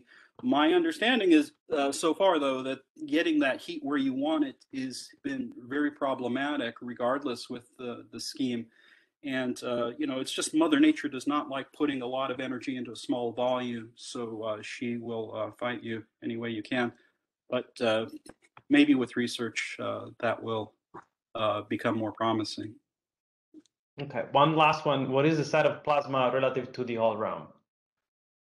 What what is what? The, the size of the of the plasma relative to the Hohlraum. Yeah. Okay. So the Hohlraum is about a centimeter tall, and uh, it's about uh, 0.7 centimeters in diameter. Uh, the capsule, as I said before we do the experiment, is about two millimeters in diameter. It's crushed down, or the fusion plasma is crushed down to a diameter of 100 microns. So it's 100 microns over a centimeter. it's so it's a very tiny fraction of that volume. Uh, okay, thank you, Omar. Dennis, I come to you. I, I, I could see you were answering some of the questions, so I apologize if I'm asking some question which you already answered, but it was difficult to keep an eye on, on the chat. So there was a question about how much time is necessary to complete the TF coil for SPARC. And then I think uh, someone else asked, is 20 Tesla approaching some technology or functional limit? I'm sorry, what was the first question? How long to how much, how much time to build the, the TF coil for SPARC? The, the model coil that we did, or that maybe what I don't understand. So that that uh, I think maybe if you could if, we, if you could coil, right, yeah. So the test coil itself took um, it was just under a year to actually assemble it. Uh, of course, first of a kind. Um, uh, I mean, an, an, anecdote to that very important one, which was that uh, the, the, very first, as I pointed, it, it, was actually made by separate. It was made of separate coils. Not too surprisingly, in technology, the first one took us uh, a couple months to, to make. By the, by the end of the process, we were we were making the the pancakes uh, at a much faster rate, uh, sort of more like a few weeks and so forth. So this is what actually extrapolates to when CFS as uh, is an interesting one because we, we built that mostly at MIT, but now it's actually going into the hands of Commonwealth Fusion Systems because it's becoming more of a, a commercial endeavor. So they are now building the capability out at the site that I uh, showed the photo of. Um, and then the idea is that that scales up to production capacity that that that hits the hits the the timeline that we that, that we talked about for the TFs in in SPARC which is order of 18 uh, TFs in SPARC. And is the 20 Tesla some functional limit? No, no. Actually, it was an interesting one that 20 Teslas uh, in uh, was uh, was was key based on the the confinement, you know, physics and stability physics that I showed before. But 20 Tesla itself has no um, didn't seem to have any particular threshold that went that went by it um, and that, that, that affected the, the, the high temperature superconductors or the structural materials, at some point you will hit a limit. And the limit in that, the problem, my, my guess is that the limit in that design would have been the structural uh, uh, uh stresses in it. There were some things that we had to do to the geometry because it was a single coil to be able to concentrate the field in particular reasons so that that, that volume was at the representative ones for SPARC. Um, and you know, we were around 900 megapascal of von Mises stresses. That's that's 9,000 atmospheres in steady state on a on a structural material. That that's significant, you know. But the, we didn't seem to hit. We did not hit any thermal dissipation limit, nor could we extrapolate one. Um, or power limit. Um, it, it looked quite good. Um, yeah, it, it probably, I'll, I'll guess here, probably could have gone to around 22 Tesla would be my guess. But we once we hit the limit, we we stopped there. um, what is the, I think you answered this one on the chat. Uh, what is the expected behavior of the HTS under high neutron fluence? And then someone asking also about uh, disruption. Uh, if you, Yeah. you Uh, actually, I didn't interest, answer that one. So SPARC, uh, this is one of the other tactical tactical advantages of even though we're building a superconducting device, we're operating it for order of 10 second pulses, you know, five to 10 second, mu- much like the one, the JET ones that, that Tony showed. Uh, this limits the fluence of neutrons to the to, to the toroidal field coil so that we will not hit any in SPARC, we will not hit any limitations because of the neutron damage uh, on the high temperature superconductors in the magnet. Uh, that is not the case, of course, for ARC, where it'll have large fluence because it'll be operating more semi-continuously. Um, so we have an active research uh, program underway to much better quantify the the the, um, the the the damage caused by neutrons uh, on on the high temperature superconductors. We have a rough idea of what that is, and knowing what that number is uh, with a high level of fidelity is key to designing because it was related to the other question what about like the neutron mean free path yes that's exactly so, so the, these take off uh, centimeters in the ARC design and these things matter because it really affects the economics yeah. There were lots of questions, I think, about ARC uh, design, indeed, uh, about power exhaust solution, uh, and what would be the tritium breeding blanket made of. And then I saw you were on the chat, you were talking also about the RF heating. Do you want to elaborate on this? So SPARC will use ion cyclotron range of frequency heating only. Uh, this is a robust technique uh, that was demonstrated on high field, compact, high density plasmas like the Alcator, uh, like the Alcator experiments. Uh, Tony can comment. I'm pretty sure you used ICRF in your JET in your JET record JET results as well too. So yeah, exactly. So it, it's a known one, and, it- and it avoids, particularly in the compact devices, the challenges of neutral beams, which don't penetrate very well because of the because of the high density. Um, uh, so that's going to be for SPARC, um, and it's around 25 megawatts of installed heating power. In the scenario that I mentioned with the Q of, of 10, it'll be around uh, 11 or 12 megawatts of coupled heating power. In ARC, we'll almost certainly use ICRF again. Uh, we are pursuing um, aspects of looking at inside launch lower hybrid for ARC for improved, even even if it's not non-inductive, to help with the uh, flux consumption. But um, you know that's that's open at this point. But RF only. Um, there was a question about SPARC not having the mountable joints, but ARC was planned to have the mountable joints. Is the TF technology demonstrated in the model coil appropriate to a TF coil with the mountable joints? Yeah, so it's it's a good question. So uh, the um, right, so we're we're looking at different options for about the jointing in in ARC. It's it's it's a challenging geometric and design problem. There's there's some papers going to be coming out on that fairly soon. Um, what we did in the TFM, what we did in SPARC doesn't require it because it's got a, a, a low fluence mission, so we don't actually need to um, uh, we don't we don't hit any fluence uh, limits for the interior materials.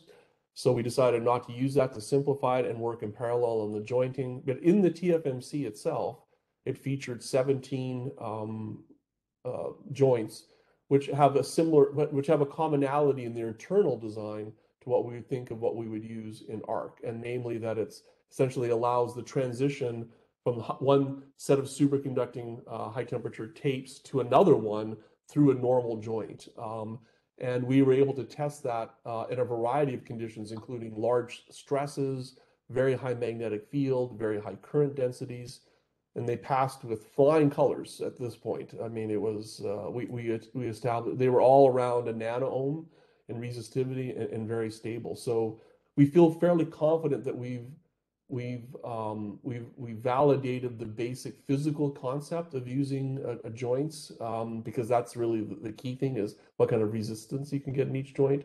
But we have to work more on the details of how you'd actually implement that in a larger coil. But it's fully disassembled, uh, disassemblable in a in, in the TFMC. So you can take it, put it together, and take it back all apart again, which is another key uh, aspect to me of of having uh, a viable solution going forward for maintenance, uh, not just for maintenance, but also for for assembly. Really key. There is a question about what are the main limitations on pulse duration. I think uh, both you and uh, Tony explained that, but maybe we can, if you want to say a few more words, and maybe we can hear from Tony again on why the JET tokamak operates for those seconds. Yeah, in, in, in SPARC, it, it was a um, uh, it, it comes from several things. So one of them is an administrative limit on the amount of energy that's allowed to be uh, dissipated in the coil from the fusion uh, neutrons. Um, uh, the other part, but you know, really, it's a physics one because is exactly to what Tony said is that it turns out that the the intern there's a long time scale. The two longest time scales are the energy confinement time and the current relaxation time uh, of the distribution. Uh, and in these in these classes of devices, these tend to be several seconds. So once you waited like five or ten seconds to the plasma, it's eternity. I mean, it's it's in equilibrium. So holding it on for longer than that just adds in more engineering complexity, but you're not really gaining a lot of insight as to the equilibrium of, of the plasma. Yeah, I agree. Uh, well, basically, a JET is basically the copper coils which which are, heated. Yeah. It's not the only effect; it's also the uh, heat loads on the divertors. So slowly, uh, the divertor heats up because the one in JET is uh, also inertially cooled. We don't have act active cooling there. And that time limit is a little longer than that from the coils, but then still it limits us to uh, maybe maybe that would limit us to seven or 10 seconds or something like that. Thank you, Tony. Uh, Omar, there's a question for you about the degree RTI and the 1.3 megajoule shot. Is the is RTI still one of the biggest issue? And then I don't know if you answered this on the chat, but they were asking uh, to comment on the path forward for NIF. Um, and if you're going to, yeah, how the underlying physics and uh, burning ignited plasma will be useful for yes. for the ICF community and uh, for the MFE community. Sure. So uh, let me do this two two questions in. So the RTI, the Rayleigh Taylor instability, that is a constant challenge. Uh, we learned, you know, about eight years ago how to manage it by uh, changing the laser pulse in our implosions uh, to mitigate it to a degree. And we've essentially been using that same tactic uh, for the, the subsequent eight years. So hold on, excuse me. so uh, the uh, the compromise we made, or the the trade off we made in managing the Rayleigh Taylor instability, uh, comes through reducing the potential maximum theoretical compression of our implosions, uh, which practical result of that is there our implosions will be limited in the amount of gain that they could produce until we we get some sort of other technique to uh, manage Rayleigh Taylor instability control without uh, uh, having to trade off uh, compression. Uh, so uh, it's a constant challenge, but we manage it. Okay, so now to the second question about the path forward. Our path forward involves uh, increasing the robustness of our implosions. Uh, part of that is improving the engineering side, so we get improvements in the laser beam balance and um, you know uh, better quality targets to the degree that is realistic. and then altering the design the best we can to make it even more robust. Now, there's a limit to how well we can do that uh, because uh, there's a trade off between um, the energy that the facility can provide and and robustness. So if we had more energy available on the facility and we're able to deliver more energy to the implosion, that relaxes uh, some of these uh, extremely high pressures and densities uh, that we have to reach, achieve. But as long as we are energy limited, uh, it's sort of inevitable that uh, we're going to be sensitive, uh, have a very sensitive implosion.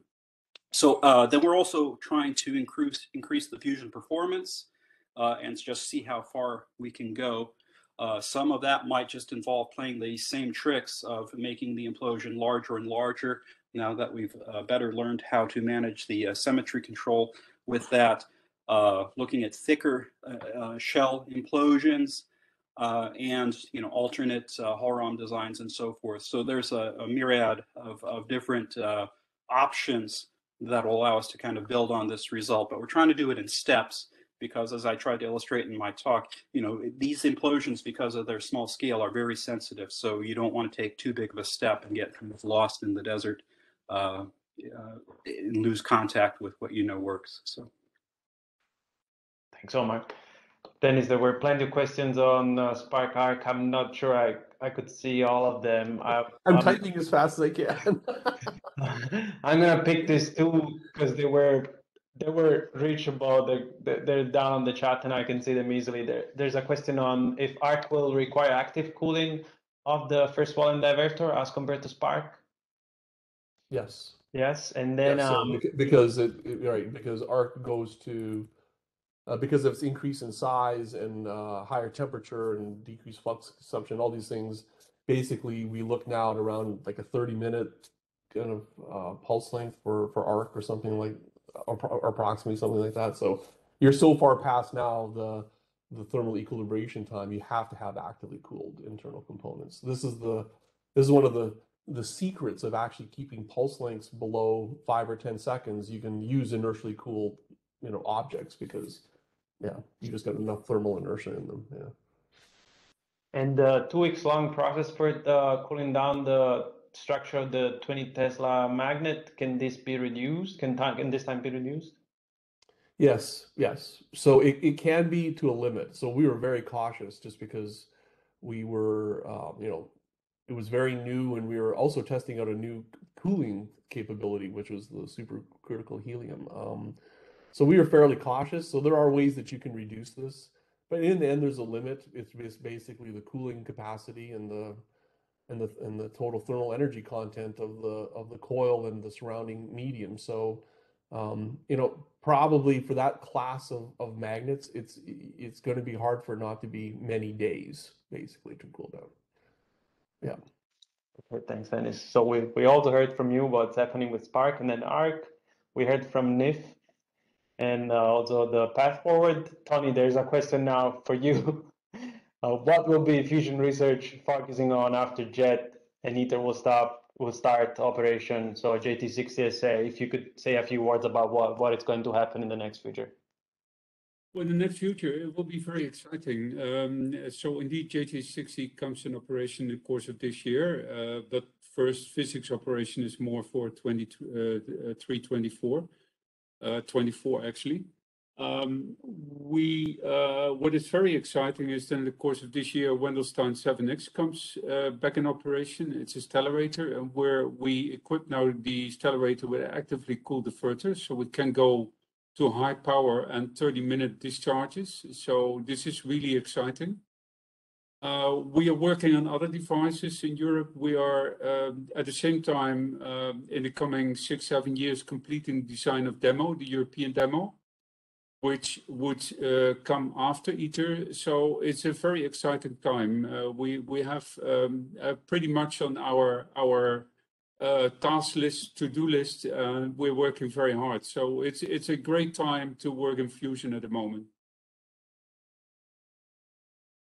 And on this uh, topic, there was a question about someone interested in studying fusion and how to get involved and participate in fusion R&D. So if you could all share some guidance and uh, on how to engage and uh, well, there's so many laboratories. It depends. I, I, I don't know whether the person is completely outsider or still doing a study. Of course, he was working as a mechanical uh, engineer. Oh uh, yeah, well, I, I think there's many laboratories. Uh, I, I don't know where the person is based, uh, but um, if he looks to the EUROfusion website, uh, eurofusion.org, uh, we have the list of all our member institutes, and I, I would recommend that person to contact the the members uh, institute in his or her country and uh, uh, then see what is possible. I think we really need, you know, we, we recently made a movie in EUROfusion called We Need Your 20 Watts because our human brain works on 20 watts Uh, we meet,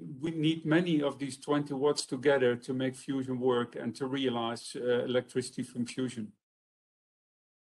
And I'll just point out my my colleague uh, Amanda Hubbard said we we are now hiring mechanical engineers at the at the Plasma Science Center Yeah. as well too. So please take a look around. Um, I agree with Tony. It's an it's an ex, it's a very exciting time in, in fusion right now. And in the end, we the way I look at it, we need it, it's a field that has been dominated by people like myself, Tony, and Omar, who are really at our heart plasma scientists but it, it, you, you can see that the the breadth of the kinds of talents that are going to be needed to carry out these these next generation of devices and eventual power plants is greatly expanded past past plasmas um, and that's really where we're going to we're going to need more talent Mhm. Omar, do you want to add anything on ICF? I was just going to suggest finding a venture capitalist, but uh, good one omar actually, we are hiring uh, prolifically. So there's a if, if you're interested in the ICF side, with the understanding, you know that a lot of what we do is national security related, uh, please apply to Livermore. Uh, there are a number of openings available uh, presently. So. Okay. Well, thank you all very much. We're almost four. We're only four minutes late. We can close, and uh, we'll so we'll we'll have a second episode uh, perhaps in June. We're fixing the date, and uh, I can announce there will be East results featured, then uh, a few more uh, a few more devices laboratories. So thank you all. Thank thanks the speaker uh, speakers, and uh, see you next time. thank you Matteo Thank you. wonderful Thank session. you, Thank- thanks. especially for all the uh, participants. Yeah Yes. thanks tony omar And, and thanks for setting stuff. this up. Yeah.